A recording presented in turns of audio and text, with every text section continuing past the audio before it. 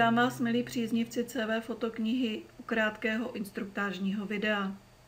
Ukážeme si kreativní úpravy fotografie, konkrétně vertikální zrcadlení. Fotografie můžete ve své fotoknize různě kreativně upravit. Ukážeme si to na tomto snímku, kde z něj vytvoříme obraz v zrcadle. Vložíme snímek ještě jednou.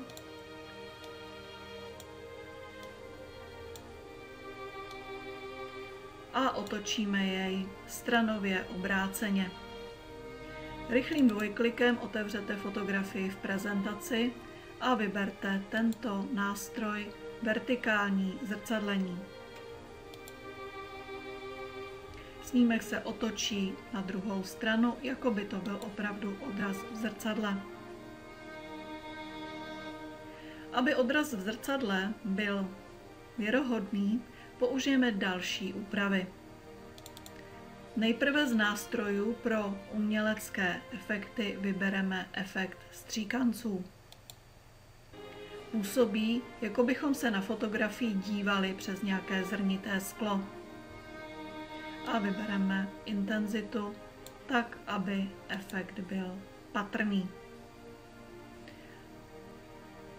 Použitím tlačítka Použít změny přeneseme efekt přímo na stránku fotoknihy. A vytvoříme ještě další efekt.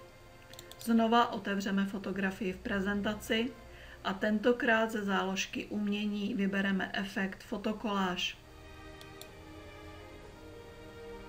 Z dané fotografie vytvoříme koláž jakoby jednotlivých tabulek, skla nebo zrcadla.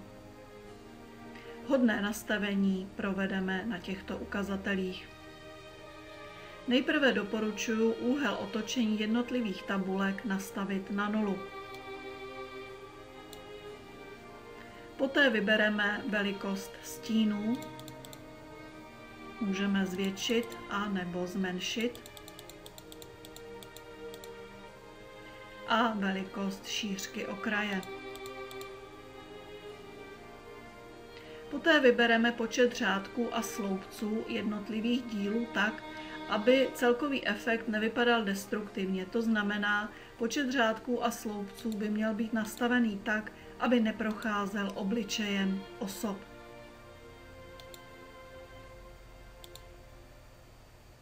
Takže asi tímto způsobem těchto polích budeme pak nastavovat barvu okrajů a pozadí. Takže nejprve vybereme barvu stínu, nějakou jemně šedou.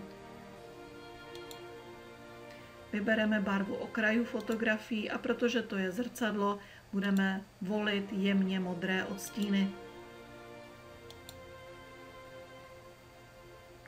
A potom barvu pozadí. A zase, abychom vytvořili dojem skla, tak vybereme některé z jemných odstínů modré. Teď můžeme nastavit úhel otočení jednotlivých polí, abychom dostali efekt křivého zrcadla a potvrdíme tlačítkem OK. Celý efekt uvidíme teď před sebou a použít tlačítko změny přenese se do dané stránky. A teď obě fotografie upravíme tak, abychom opravdu vytvořili efekt zrcadla. Nastavíme stejnou velikost obou fotografií.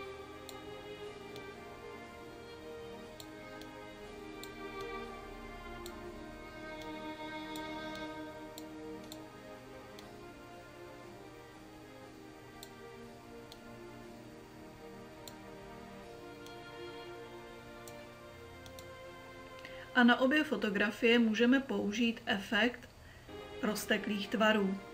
Najdete je na záložce Layout a záložka Rámeček. V tomto řádku vyberte z ořezových rámečků rozteklé tvary. A vybereme takový, který bude fotografii zesvětlovat vždy z protilehlé strany. Takže tímto způsobem a tu druhou na opačné straně. Celou kompozici ještě můžeme spojit vhodným pozadím, které bude korespondovat s barevností obou fotografií. Takové najdeme nejlépe na záložce Design, záložka pozadí a ve skupině Multicolor. A vybereme některý z těchto jemně modrých odstínů.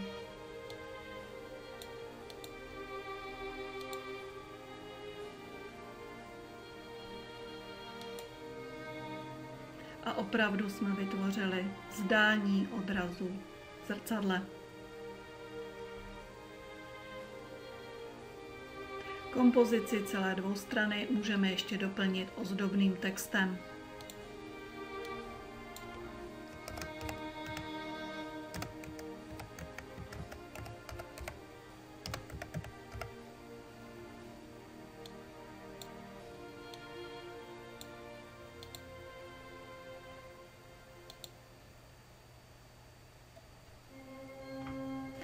Chystáte-li se vytvářet svatební fotoknihu, věřím, že se vám tento efekt může hodit.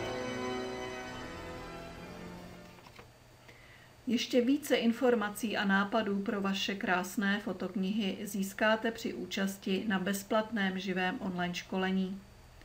Informace o termínech a přihlášení naleznete na našich webových stránkách.